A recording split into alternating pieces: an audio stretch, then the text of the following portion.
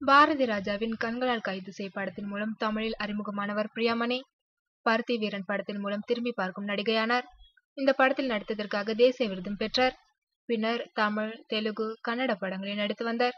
சமீப காலமாக தமிழ் படங்களில் அவருக்கு வாய்ப்புகள் இல்லை. இந்நிலையில் ஒரு கிரிக்கெட் போட்டியின் போது சந்தித்த மும்பை தொழில் அதிபருடன் பிரியாமணிக்கு பழக்கம் ஏற்பட்டது.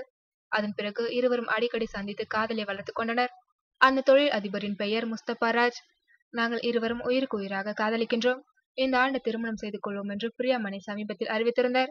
தற்போது தனது திருமண நிச்சயதார்த்தம் வருகின்ற இருபத்தி ஒன்பதாம் தேதி பெங்களூரில் நடைபெற உள்ளது என்று பிரியாமணி தெரிவித்துள்ளார். வருகின்ற நவம்பர் அல்லது டிசம்பர் மாதம் பிரியாமணி முஸ்தபா ராஜ் திருமணம் நடைபெறும் என்று தெரிகிறது. நிச்சயதார்த்தத்தின் போது திருமண தேதி முடிவு செய்யப்பட உள்ளது.